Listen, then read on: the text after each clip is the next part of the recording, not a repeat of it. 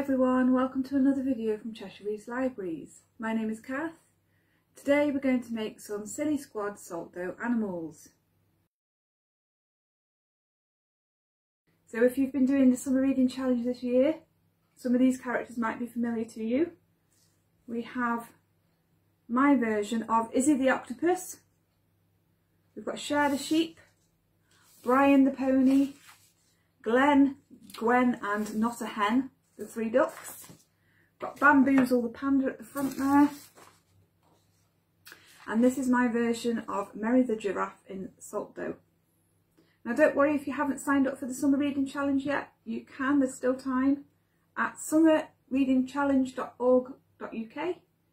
So to make your Silly Squad Salt Dough animals, I've got in here 250 grams of plain flour, and then half that for 125 grams of salt and 125 millilitres of water.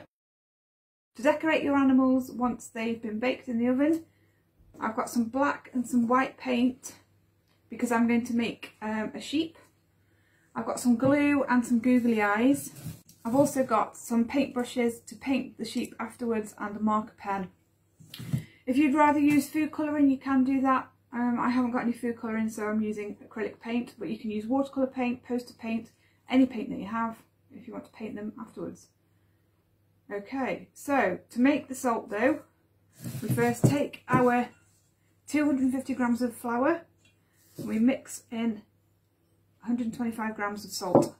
So give it a bit of a stir, that's our salt and flour mixed together. Now I'm going to add in 125 millilitres of water. It can get a little bit messy, so I've just put this uh, black plastic on my table just to protect it. I'm going to put all that in and then give it a stir around, stir it all up and it should form a dough.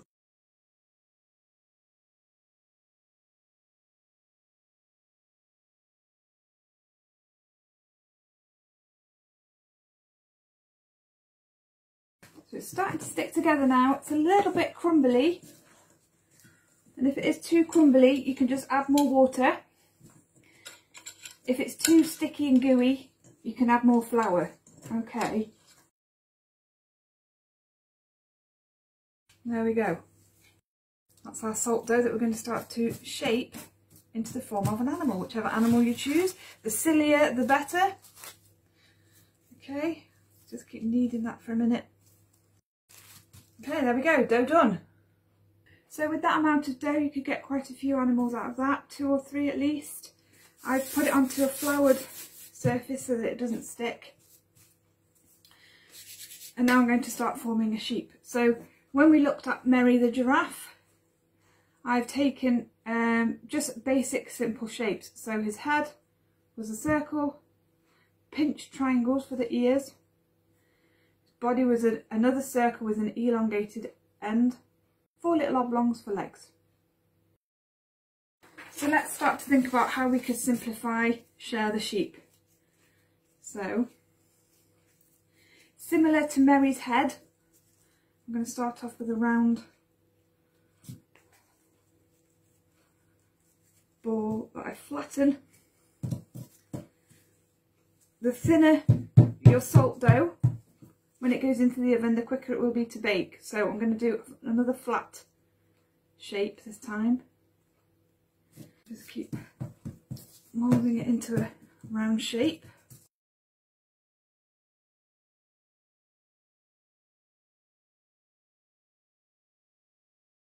Next I'm going to take my finger and make indents around the sheep's body so that it looks like a cloud. So next I'm going to make four little legs just by having smaller pieces of dough that I've rolled into a sort of leg shape like that. I'm just going to pop that under the back. There's one leg.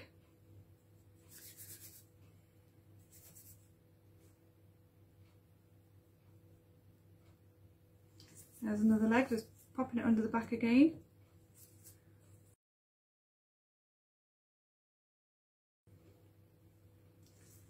Three legs.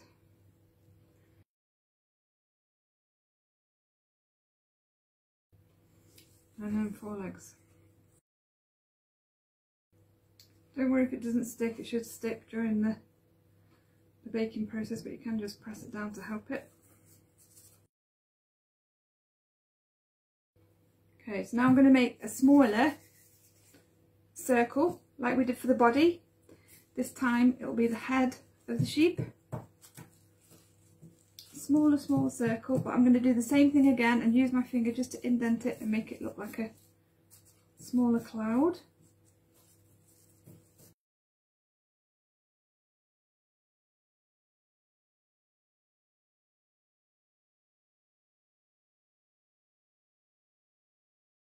There's our head on top of our body. We can do some little triangle ears again if you want to. So I'm pinching there one end, keeping the other end quite flat. It's going to go behind that bit there.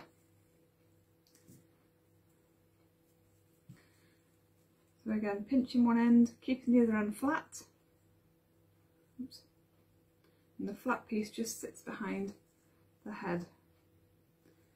And what I'm also going to do at this point is just mark with a finger where the eyes are going to go. I'm probably going to use googly eyes again, but you don't have to. You can paint them on. So there we go. We've got sheep's head.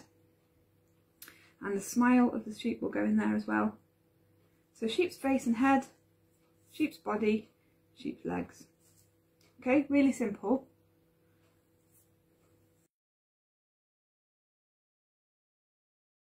Once you're happy with your sheep, pop him on some greased baking parchment. And then the sheep can go into the oven on 150 degrees for two to three hours. You're looking for the colour to be quite pale when it comes out, but hard. So it should all have dried out, okay? Off we go to the oven. So after baking in the oven, should have something that looks like this. And I'm just going to paint this now using black and white paint. Just going to start with a black head and black legs. I'll do a white body and then I'll stick some googly eyes on afterwards. Two of my legs fell off in the cooking process. When I pulled it out of the oven I only had two legs instead of four and I actually preferred it with two so I left them off if that does happen to you, pieces fall off your design, you can just glue them straight back on and leave it to dry before you paint. You can do yours any colours you like. As I said, the sillier the better. So I could have done purple sheep, couldn't I really, or pink sheep. And if you didn't want to use paint, you wanted to use food colouring, you could have added the food colouring in the mixing process right at the start.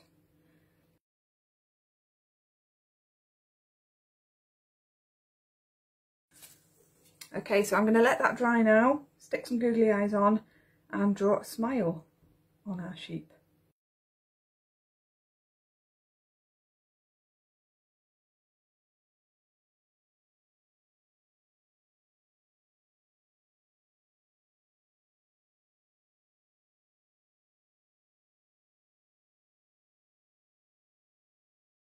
There we go, our Silly Squad salt dough animals. Have a go at making some of these yourself at home. And keep an eye out for more videos from Cheshire East Libraries. Bye!